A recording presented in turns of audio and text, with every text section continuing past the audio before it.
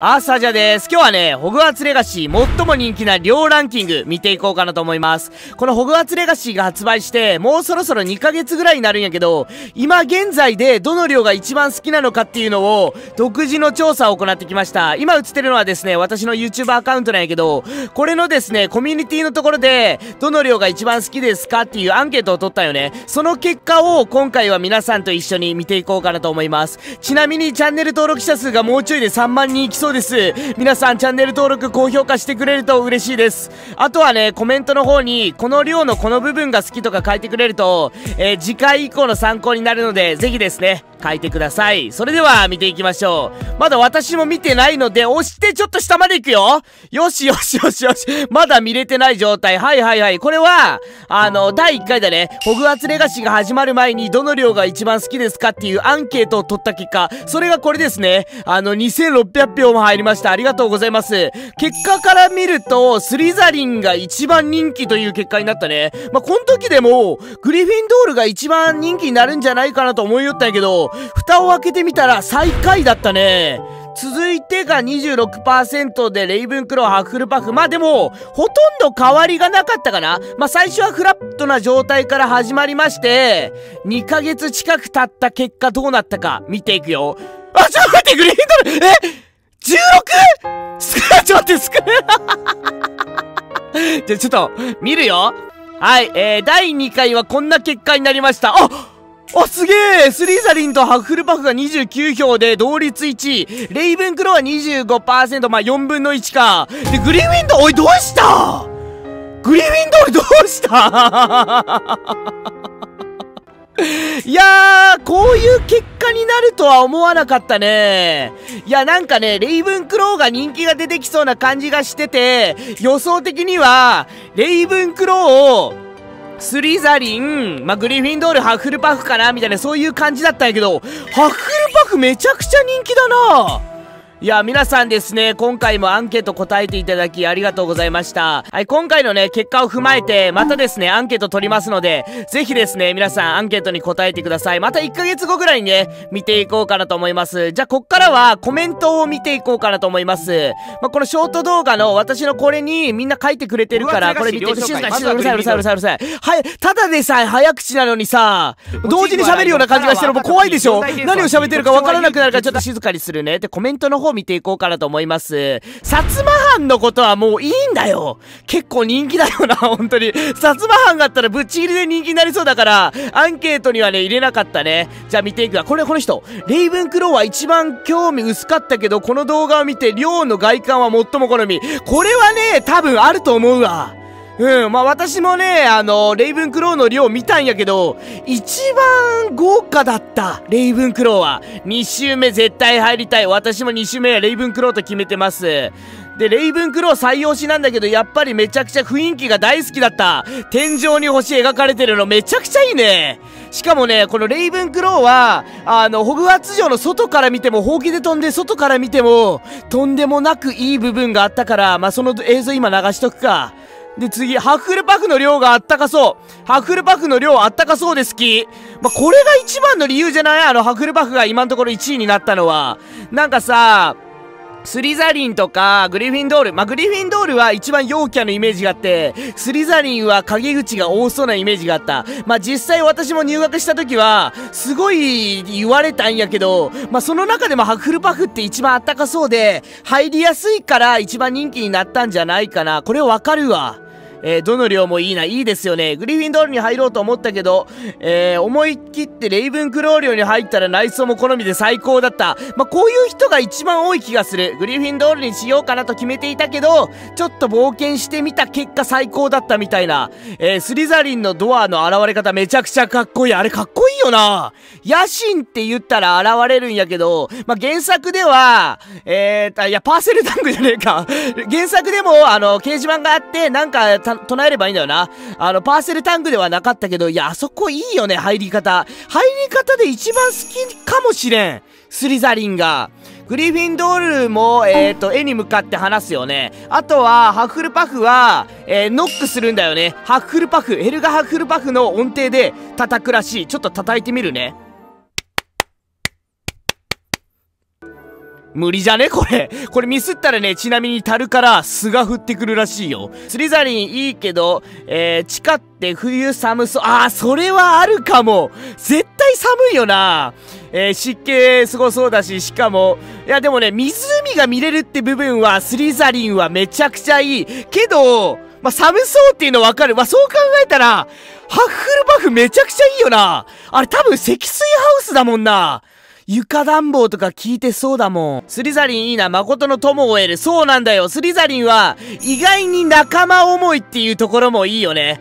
多分さ、あの、規則を破るようなことがあったとしても、いいよ、俺もやってやるよ、みたいな、セバスチャン・サローみたいな人が、たくさんいそうなイメージだから、スリザリンね、おすすめだね。ハッフルバフの量、ストーリークリアまで、えー、見つけてなかった初めて食堂見た時は感動したわ。それもわかるわ。なんかさ、大広間の下の部分が厨房になってて、その隣だもんな。で、よく考えたらさ、厨房にそのまま入ることできそうじゃね？屋敷しもべと仲良くなったら、ちょっとあの、抜け駆けしてさ、大広間に行く前に飯食えそうだから、ハッフルパフいいかも。あ、次回 !2 週目ハッフルパフにしようかな。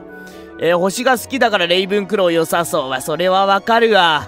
グリフィンドールかスリザリンしか考えてなかったけど、アクロバフの量可愛すぎてめっちゃ迷う。いや、マジで。いや、コメントさ、あのー、私の気持ちを代弁してくれてる。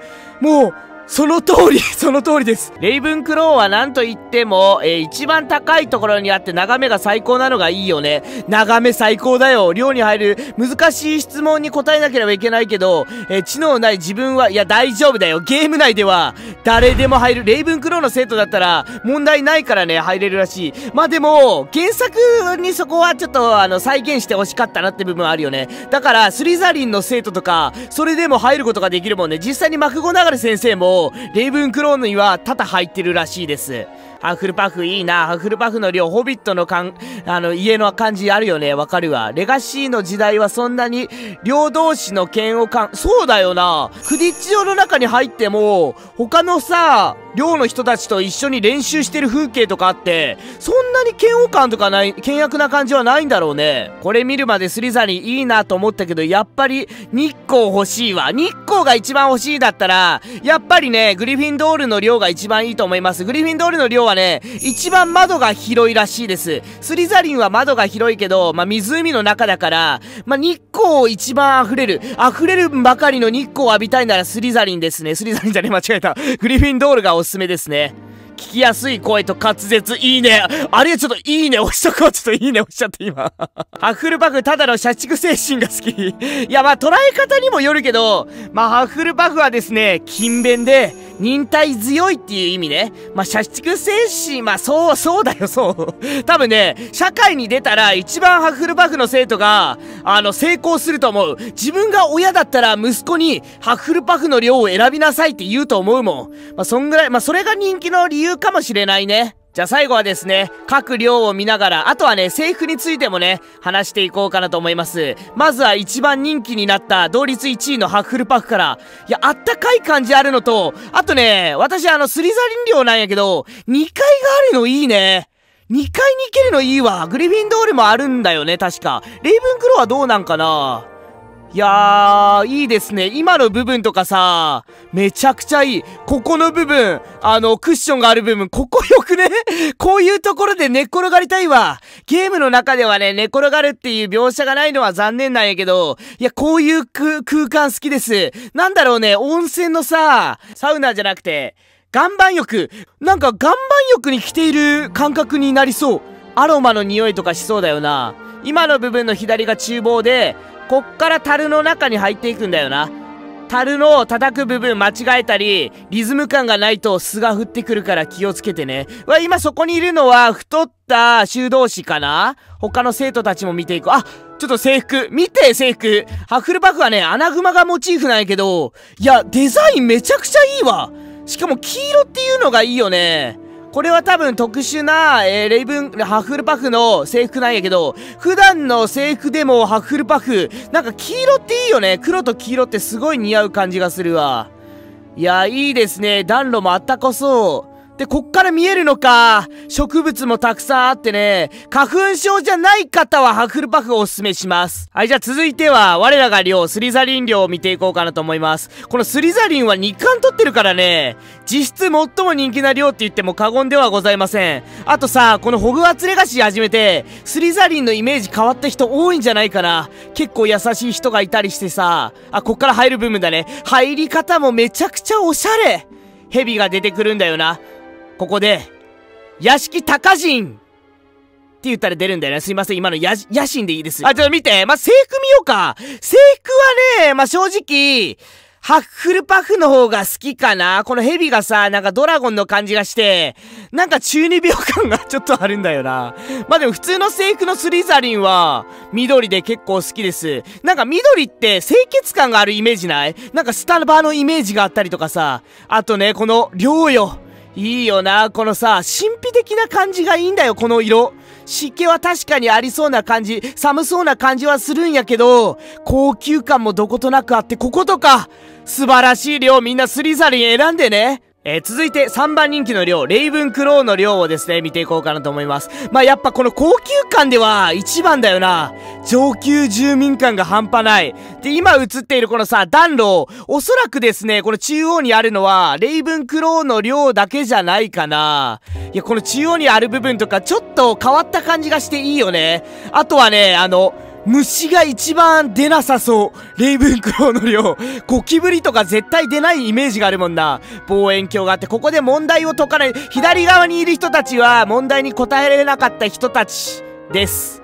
ここちょっとさ、プライドが高い人とかここに、あの、いなさそう。うわー、このさ、今の天井の部分とかさ、いいね。星があるってやっぱいいわ。あとはちょっと待って、制服見てなかったけど、制服はね、一番好き。まあ、個人的に青が一番好きっていうのもあるんやけど、このさ、マークよ。レイブンクローのさ、わしだね。わしのマークめちゃくちゃいい。うわ、ここいい、本当に。この部分最高じゃね？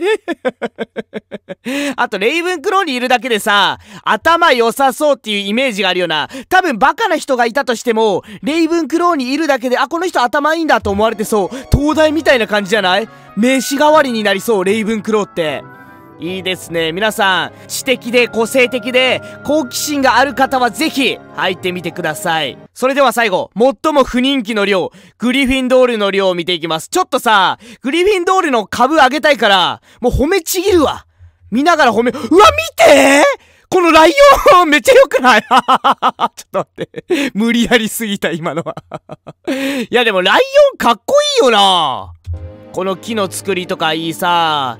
見てこの窓の大きさ。一番窓が大きいのはグリフィンドールらしいです。あったかそうだよな。日光浴びるってほんと大事だよ。結構聞くもんな。なんか夜勤の仕事とかさ、あの火を浴びない人より、あの日光浴びる人の方が精神状態はいいって聞くから、ほんとグリフィンドールの寮に入ったら、あの、うわ、このガラスよ、見てステンドガラス。いいですね。G のマークってこれゴキブリ？開けてくれる。いいですね。たまにね、ここの量でさ、あの、声でガラスが割れるわとか言ってほしい。言ってほしいです。この真ん中に入ると、グリフィンドールの生徒たち、怒られてる吠えメールだな、あれ。怒られている人いますね。いや、でもグリフィンドールの生徒と人たちはなんか陽キャのイメージがあるけど、まあ、実際自分も入ってみたら、陽キャになるんだって。どんな人だって。の仲間になれると思うから、多分いいと思うよ。うわー、いやでもいいよな、グリフィンドール。この、ちょっと制服見ていくんやけど、制服は、まあ、3番目かなうーん。まあ、スリザリンよりはいいかなと思うけど、レイブンクローとハフルパフの制服かっこいいわ、やっぱり。